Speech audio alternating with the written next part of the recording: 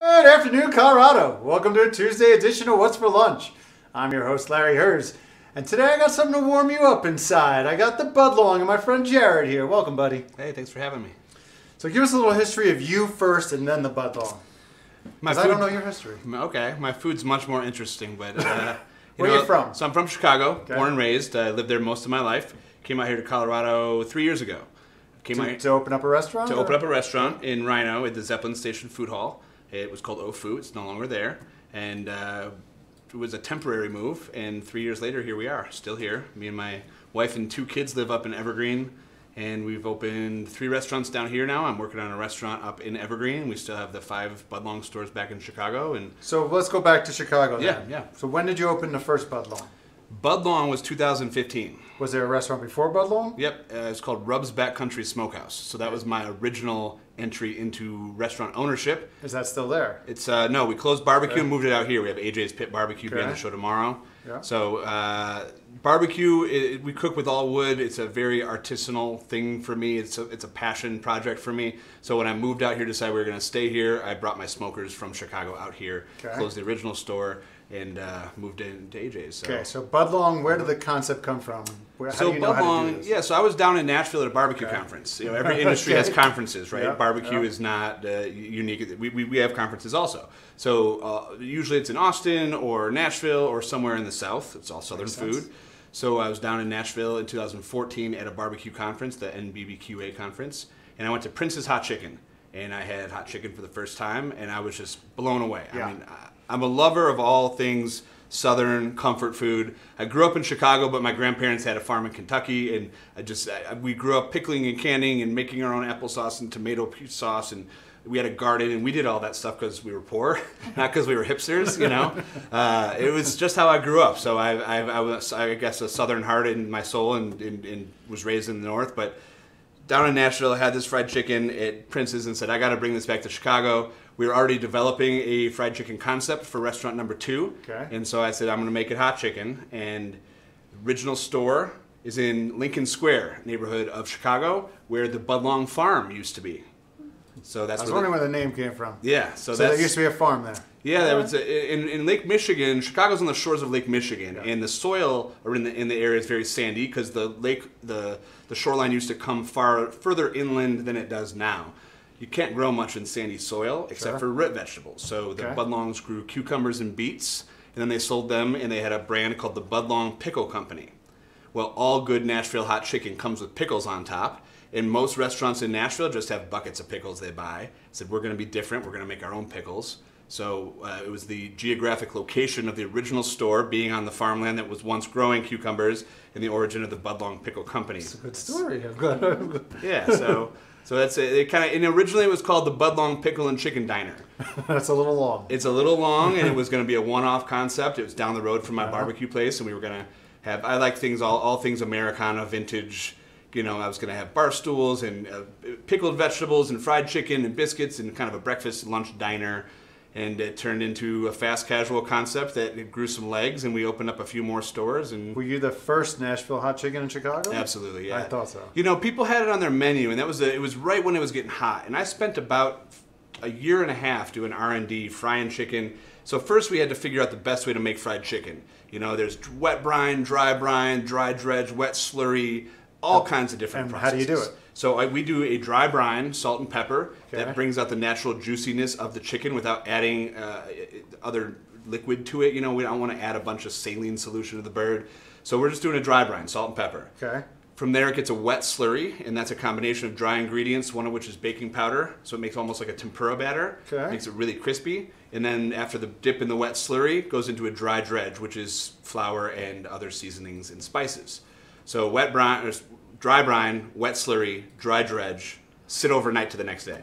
Oh, okay. So that sitting point's really important because if you batter chicken and fry it right away, the, the breading comes off, right? So we say overnight. That's how our prep process goes. It's really like four or five hours. Uh, you know, it makes a really crispy. That's like the signature to our fried chicken. Aside from it being hot, is that it's really crispy and crunchy, and that's just the. What's the difference between fried chicken that the Colonel would make and Nashville hot chicken? So Nashville hot chicken is spicy. You know, the breading there's differences, but really any fried chicken can be hot chicken when chili oil is applied to it. So that's the key is chili oil. Yeah. So the original uh, Thornton Prince. Actually, do you know the story? I don't. So Thornton Prince was uh, a man about town, if you if you will, down in Nashville, and he liked to go out. He liked the ladies, and he was out partying one night and came home and asked his then girlfriend to make him fried chicken for breakfast. Okay. After he was out all night, not with her, of course. so the it was a it was a dish of revenge served hot. So she made him fried chicken, and she took some peppers from her garden and spiced up the oil and applied some of the oil to the chicken after she fried it. And her intention was to cause some intestinal discomfort to, to Mr. Thornton Prince, and it totally backfired on her. And Do, do we know her name? oh, That know, would be something. So she's the one who invented. Nashville hot chicken. Yeah, and at the time it wasn't hot chicken though, because hot chicken wasn't a thing. It was Yeah. just the way she made fried Yeah, yeah. chicken. So then him and his brother opened up a place. It wasn't called Prince's Hot Chicken originally. It was called like the Nashville Chicken Diner or something. What year do you think this is? This is back. This is 75 years ago. Okay. Yeah, this is like in the 40s. So him and his brother opened up the original store. It was still there until last year. It burned down. In a strip mall, divey little place, and they started serving this style of chicken that became regionally known eventually as Prince's Hot Chicken, to which then, probably only in the last 10 years or 15 years, other chefs from other regions would go down to Nashville and other restaurants were, were putting this on their menu. So, like Arnold's Meat and Three is a popular southern restaurant in Nashville. The son of the founder of that opened up a place called Hattie B's. Hattie B's, I know. Hattie B's is like the in and out of hot chicken. I won't say McDonald's, but it's like a it's franchised now, Okay. and they have several stores. And they they took hot chicken and they made it a good business. See, Prince's was always charming, but their service is slow. Their dining room was not elegant. Uh, you had to buy pop from the machine. Machine. I mean, 75 years. That's how it always Sure. was. They never changed their processes. It took you an hour to get your food. There was a line every day. There was kind of a there was there, there- there's something to that though, you know, like having that line in the original store and all of that. But then I always say Hattie B's made hot chicken, put it on the national radar. But the inventor was Prince Thornton Prince and his and his brother and his girlfriend. Let's get back to the Budlong. Yeah. So where's your location now? So we're at 81 South Pennsylvania. We're right next to Uncle Ramen. you know who you're across from, right? Uh, Carmine's on Penn and the Spot. Do you know who invented Carmine's on Penn? No, That's Nope. my first restaurant. no kidding. Should you not? So our manager, director of operations, Andy Montgomery, uh, her cousin owned it at one point. So I opened it in 1994, and then now it's on the fourth owner. No kidding. No kidding, Yeah, small world. Uh, let's talk about what you brought me for lunch yeah, today. yeah, absolutely. So when I started, so Nashville hot chicken is traditionally bone-in fried chicken, leg and thigh quarter or breast and wing quarter. When we opened our first store, that's all we sold, bone-in fried chicken. Well, now our most popular items by request are the sandwiches and the tenders. Yep. Because people want something clean and easy to eat. Yep. When I order fried chicken, I still get the bone-in Yeah, it's quarter dark. juicier, it's That's what I like. I like bone-in meat. But we sell 300 sandwiches on a Saturday, and I sell seven or eight pieces of bone-in fried chicken. So Okay, so this is the tenders. those are the tenders, three pieces on buttered Texas toast, house-made pickles. You know, we do everything a little bit different than a typical Nashville hot chicken restaurant would, where we're using Texas toast, not cheap white bread. Typically, you get a couple of pieces of cheap white bread. We toast the toast and we butter it. So uh, our chicken, when it sits on there, the seasoning from the chicken and then the seasoning from the paste that we apply to the top of it soaks into the bread, and the bread at the end is a treat as well Nice. house-made pickles on top. Those are like a bread and butter pickle, but a little bit different. Uh, we shock them on ice, so they're really crispy on the outside. They're not mushy like a lot of bread and butter pickles Let me are. just see how they are. I could hear it crunch. Not mushy, right? No, that's a damn good pickle. So we ice those those cucumbers. We hand cut them, uh, ice got them overnight. zest. Yeah, and then, and then you know everything's from scratch. Uh, from Okay. our sauces to our sides, our collard greens we make with a smoked beef short rib in them. That's different than traditional Southern style that would use a, a pork ham hock.